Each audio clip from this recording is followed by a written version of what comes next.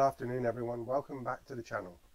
As the title states, this is about saving you some money on your tyres for your motorbike. Now the time you see this video, I would have probably already been to the Pyrenees and back. But today, this week, I need a new rear tyre for my BMW. It runs Michelin Anakee 3s, which I really, really like. And now a lot of the people say they're it's like riding on baubles, but I don't believe that for a minute. Anyway, went up to our local uh, motorcycle garage and asked them for a price to purchase and fit.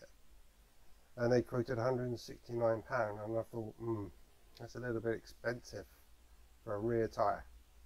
And they did say they weren't competitive, that's not the sort of thing they really do all day long. So I said, that's fine. I asked how much it was to fit, they said 20 quid to fit. Perfect, so I thought, right, I'm going to spend an hour or two looking for some tyres on the, well, a tyre on the internet. In fact, I spent most of Saturday evening looking for tyres and I searched high and low. And they're all varying prices. So uh, I found one on eBay. Um, it was £120 delivered free of charge. It's brand new. Uh, it's just arrived today. And as always, anything I buy expensive on the internet, always film the opening of it and just in case anything's broken or damaged just as well today because when I bought the tyre and I will show you that now. So here's the tyre. Pretty much brand new. I doubt if it's been on the bike very long. I can't see any real marks. So as you do you always check your goods.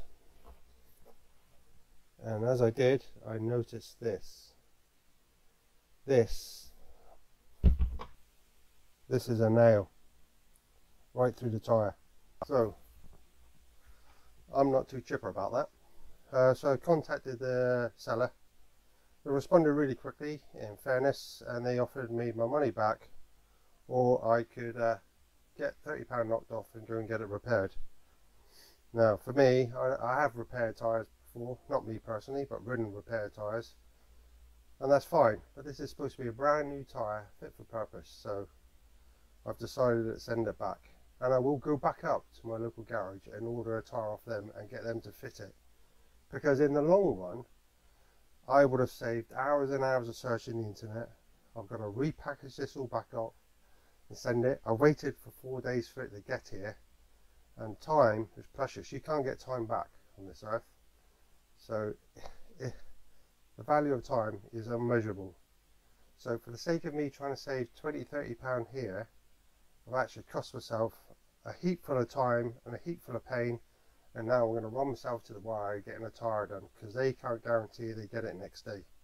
So let this be a warning to you. Actually trying to save a few quid potentially will cost you a lot more time and potentially money in the long run to do it. So you want to save money on tyres, go to your local dealer and buy them there and then. Alright. Now, interested if anyone else has had the same problem as me, leave them in the comments below. If not, that's the end of the video. Until the next, that's the end of the video. Until the next time.